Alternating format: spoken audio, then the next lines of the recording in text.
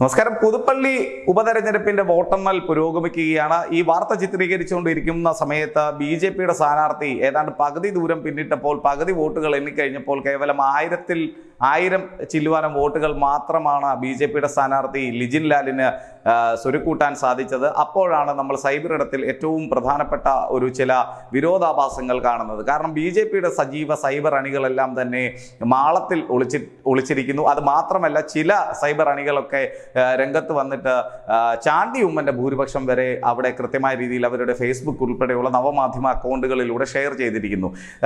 എന്തൊരു ഗതികേടാണെന്ന് നോക്കണം കേരളത്തിലെ ബി ജെ പിയെ സംബന്ധിച്ചിടത്തോളം. വളരെ ആ, സങ്കടകരമായിട്ടുള്ള ഒരു അവസ്ഥാവിശേഷത്തിലേക്ക് പുതുപ്പള്ളിയിൽ ബി ജെ പിയുടെ പ്രകടനം മാറിപ്പോകുന്നു. ഏതാണ്ട് പതിനാറായിരം പതിനേഴായിരം വോട്ടുകൾ ഷുവർ വോട്ട് ബെൽറ്റ് ഉള്ള ഒരു മണ്ഡലത്തിലാണ് ആയിരം തികയ്ക്കാൻ കിടന്ന് കിതയ്ക്കുന്ന ഒരു അവസ്ഥാവിശേഷത്തിലേക്ക് ബി ജെ പി മാറിയത്. എന്തായാലും ബി ജെ പിയുടെ അണികൾക്ക് ദേഷ്യം തോന്നിയിട്ട് കാര്യമൊന്നുമില്ല.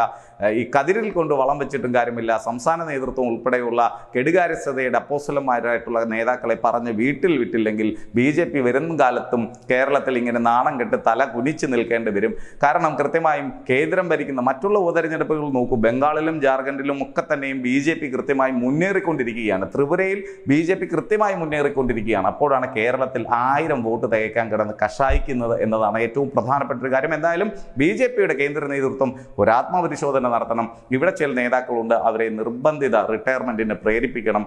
ബി ജെ പി കഴിവുള്ള ആമ്പിളാരുടെ കയ്യിൽ ബി ജെ പിയുടെ താക്കോൽ സ്ഥാനം ഏൽപ്പിക്കണം എന്ന് മാത്രമേ നമുക്ക് പറയാനുള്ളൂ.